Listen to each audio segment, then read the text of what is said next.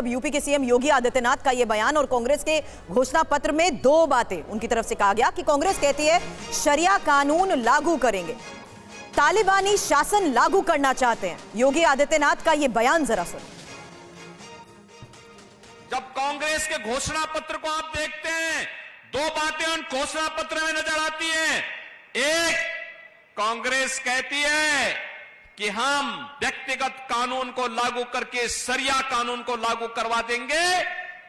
इसका मतलब बाबा साहब भीमराव अंबेडकर के द्वारा बनाए गए संविधान के लिए ये लोग खतरा पैदा करना चाहते हैं। यानी देश के संविधान को एक खतरा पैदा, खतरे में डालना चाहते हैं।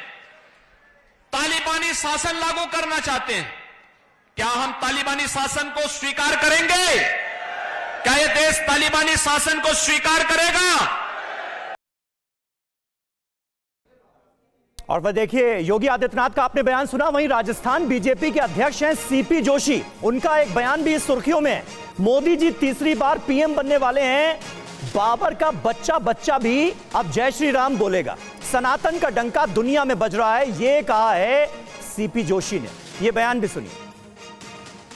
जो लोग अभी तक जय श्री राम बोलने में जिनको तकलीफ़ हो रही है, तीसरी बार मोदी जी प्रधानमंत्री बनने वाले हैं। बाबर का बच्चा बच्चा भी जय श्री राम बोलेगा। मैं दावे के साथ कह सकता हूँ। हम सनातनी लोग हैं और आज सनातन का डंका कैलाश मानसरोवर से लेकर सोमनाथ, काशी, विश्वनाथ, उज्जैन, महालोक कॉरिडोर और अब तो अबू धाबी जैसे मुस्लिम राष्ट्र में भी जब बड़ा मंदिर, भव्य मंदिर, दिव्य मंदिर बनता है तो उसकी आधारशिला भी हमारे प्रधानमंत्री रखते हैं। और जिसके पाटोत्सव में भी हमारे प्रधानमंत्री जाते हैं, तब हमें लगता है कि हमारा सनातन दुनिया में डंका बजा रहा है।